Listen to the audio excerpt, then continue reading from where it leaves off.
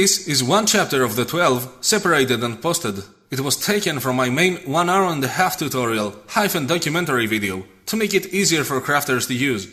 If you don't mind watching the whole thing, then click on the link in the description and the pinned comment.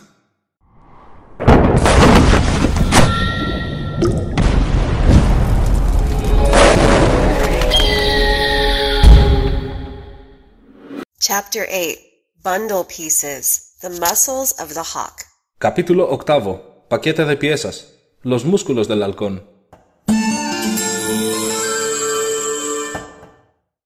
Our core is the skeleton of the bow, but without proper muscles, its power can't be expressed.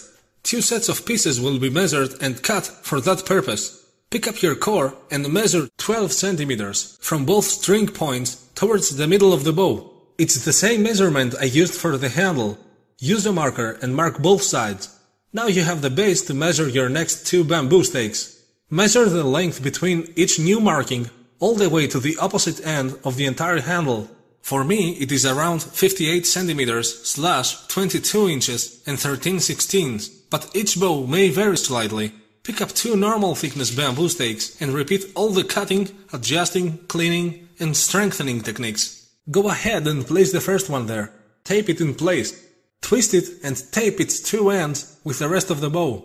Do the reverse with the other piece. Don't place it next to the other one, but place it on the backside of the core. See them as two opposite poles of a magnet. Twist and tape it in place. These thick ends will now mark the borders of our handle. For now, leave them as they are. Eventually, you will tie up with rope every bamboo end but it's better to first place everything together. For the sake of showing you why you should wait, I went ahead and tied all four ends of one of the two sample bows I'm developing for this video. From the thin tops of the new pieces, I'm going lower towards the center again with the same measurement, 12 centimeters. Mark those spots. From the new marks, measure 56 centimeters slash 22 inches and 3 sixteenths towards the other side. Do this from both sides and use the thin bamboo stakes this time. Repeat the same process as before to prepare the third set of pieces. Don't forget to make them face opposite sides.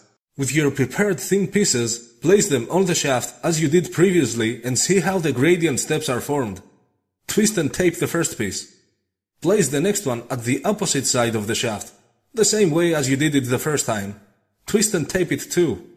Now you can see why it is better to wait before tying the ropes. You don't want to place a piece above a knot bulge. It will prevent your bow from acting as one piece and it becomes a weak point that can break the whole thing. The far sides are not in the way though, so you don't have to cut them. Simply cut the ones close to the handle by placing your razor between the spaces formed by the bamboo. It's safer if the cutting edge faces outward, Tape everything together and you're finally ready to tie every single end. Do it the same way you did it the first time. Remember that the center of the bow's gravity is the middle, so half of the knot will face opposite to the other half. The ropes are the tendons of the hawk. After you finish up the rope wraps, you're ready to place the final piece. Cut it to be 18 centimeters slash 7 inches long. That's slightly shorter than the handle's length. Process it like any other piece. I call it correction piece. What it does is serve the bow as a final thickness support for the middle, but mainly as a handle correction. To see what I mean, get a simple rope that you don't need and temporarily tie it on both string points. You don't have to actually bend the bow. You will do that only to see where the string shall be facing once it is made. Pretend you're ready to shoot and use the Comanche style handle with your thumb following the bow's line. Exactly as you have seen in my previous videos. Place the piece on a gap to sit well where it would help you hold the bow firmly. Once you find the most comfortable spot, get some tape and completely wrap the entire handle length. Wide sealing tape would be easier to work with for that. It's the same material as the scotch tape. This spot does not need to be tied with any ropes. The tape is sufficient. What you have in your hands is already a fully functioning bundle bow, as long as you make the string too. But let's continue to reach its true potential.